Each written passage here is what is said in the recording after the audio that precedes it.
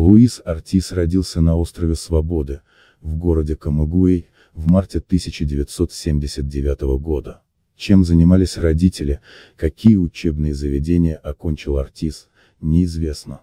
Кроме того, как пишет Eurosport.ru, кубинец подозревается в подделке документов, поскольку выглядит старше своего возраста. По словам американского телеведущего и аналитика Элла Бернштейна, Артис, возможно, уже пенсионер.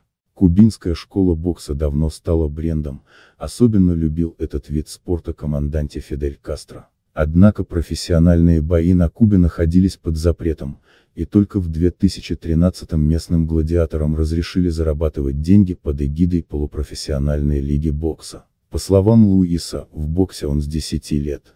А поскольку развлечений на острове не было, ничто не отвлекало спортсмена от тренировок. Медленно, но верно артист поднимался по карьерной лестнице и в конце концов попал в национальную команду. В 2005 молодой боксер приехал на командный Кубок мира в Москву. Кубинцы, считавшиеся по всем статьям фаворитами, проиграли сборной России, а Луис уступил Роману Романчуку. Через год артист стал чемпионом Кубы, в 2006 выиграл высший боксерский турнир на родине, Плая Херон. В 2009 перед Луисом, к тому моменту уже имевшему семью, остров стала проблема нехватки денег на лечение дочери.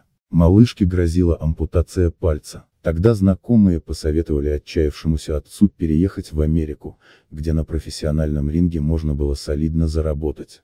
Недолго думая, артист взял в аренду катер, ночью доплыл до Мексики, а оттуда перебрался в США. В Америке первой тренировочной базой Луиса стал Street Gym, Альма-Матер Мухаммеда Али. Выбор оказался не случайным.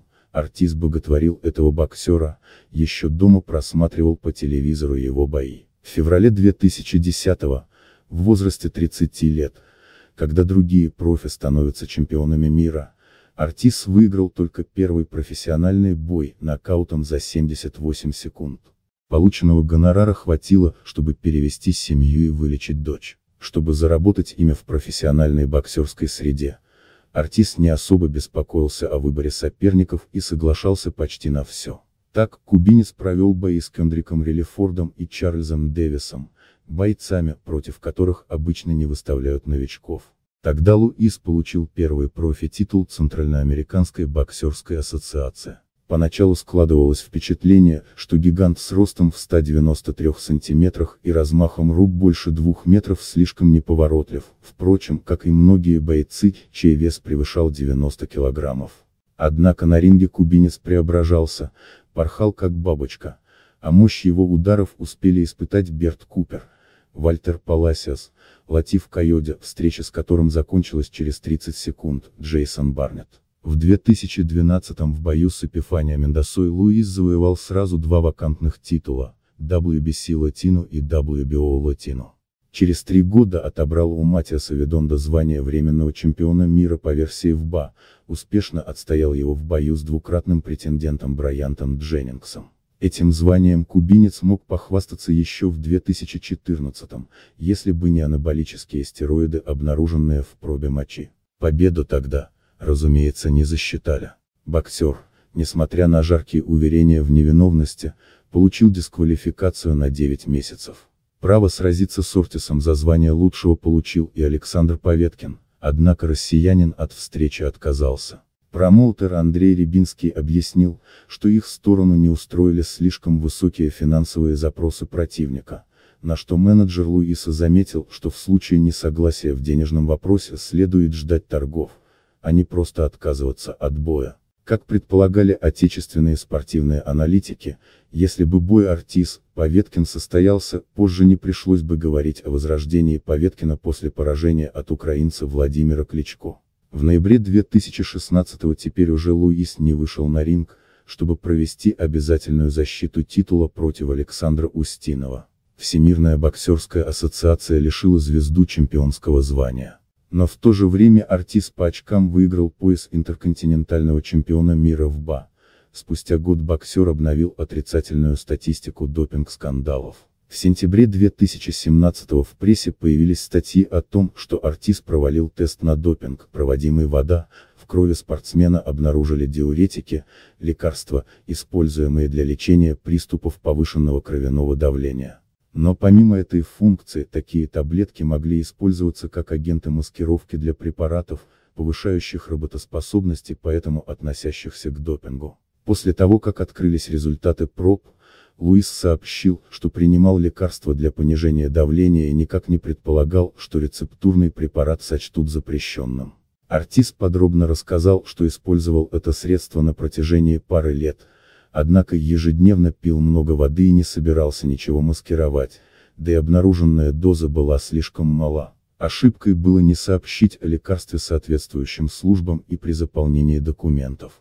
И уж, конечно, не было умысла, поскольку допинг – это крест на карьере, а бокс для него важен, так как это средство обеспечения семьи и детей. Однако спортивная Фемида оказалась неумолима. Спортсмена отстранили от ринга на год, лишили статуса обязательного претендента на звание суперчемпиона и удалили из рейтинга в БА, автоматически отменился поединок с чемпионом WBC Диантеем Уайлдером. Правда, за Ортисом оставили право после 22 марта 2018 обратиться с просьбой об отмене дисквалификации и о возможности выступать под флагом других боксерских союзов. В сентябре 2017 действовавший чемпион супертяжеловес Уайлтер сам попросил Всемирный боксерский совет провести встречу с Луисом.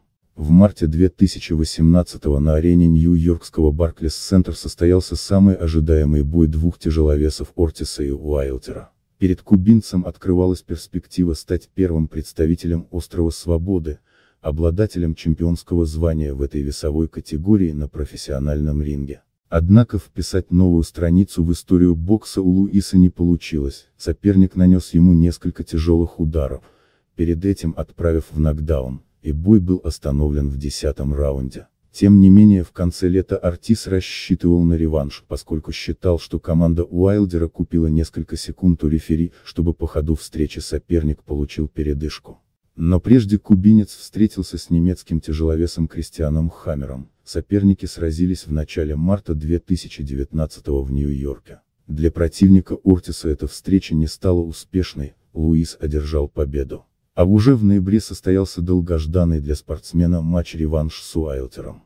В начале поединка оба боксера оставались осторожными, а уже в третьем раунде спортсмен с Кубы начал действовать агрессивнее, нанося точные удары по корпусу американца. К середине боя у Диантея еще не было прицельных попаданий. Однако в седьмом раунде он нанес сопернику удар, после которого кубинец не смог встать. Победа вновь досталась Уайлтеру. Спустя год Артис встретился на ринге с Александром Флоресом.